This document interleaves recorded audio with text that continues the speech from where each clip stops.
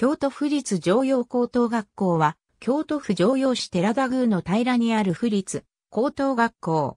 常陽市の市政開始と同じ1972年に、普通科と商業科の平地校として開設された。山城通学圏に属す。常陽市には、常陽高校の他に、西常陽高校が存在する。学校の前には、水戸神社、大鳥の巣山があり、学校の近くには、スポーツ用品店や文具店が並ぶ JR 常用駅前商店街がある。JR 常用駅から学校までは水戸神社の参道となっており、緑豊かな場所となっている。また、周りは住宅街なのでとても静かである。校内の第一棟と第二棟の間には、通称、常用ハーエと呼ばれる芝生の庭園がある。この呼び名は、狩猟が植栽されている一角がハワイのようだということに由来する。噴水池もあり、休憩時間や放課後は生徒の憩いの場となっている。開校当初、現在のグラウンド部分には宮の平古墳群の古墳があった。グラウンド整備のため、敷地内の古墳は資料保存となり撤去されている。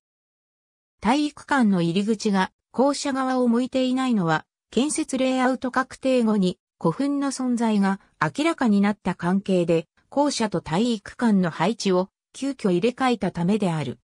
2020年4月1日付の人事異動で、本校第8期卒業生が第17代学校長として着任した。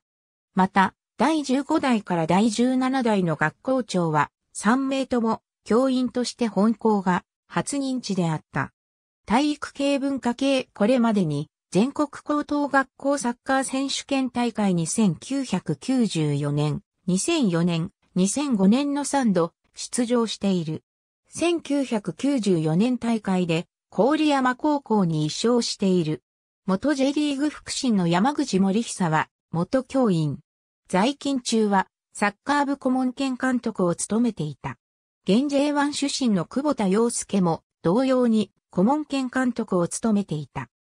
2017年京都府吹奏楽コンクール、金賞受賞最寄り駅、停留所、50音順 ABC、上陽高校スタート1972年4月10日付、京都新聞夕刊13面校舎の一室に、宮の平古墳資料室が作られ、古墳群の復元模型、説明版、出土品が展示されている。常陽高等学校創立10周年記念誌の記事より、階段手すりの材質など一部仕様が第二期工事までと異なる。オイルショックの影響とも言われているが、真相は不明。2004年度に上着の胸ポケットにエンブレムを追加するなどのマイナーチェンジを実施している。記入学者には適用されないが、留年により新制度の適用となった場合は、アイ類に編入された。公式ツイッターより、2017年度に体操部より名称変更。体操部の頃より事実上、チアリーディングチアダンス部として活動していた。http コロンスラッシュスラッシュ www.kyo.be.ne.jp スラッシュ j は yo u は o u だ h スラッシュマウントスラッシュスクールライフ2017 08ポストマイナス353 HTML。ありがとうございます。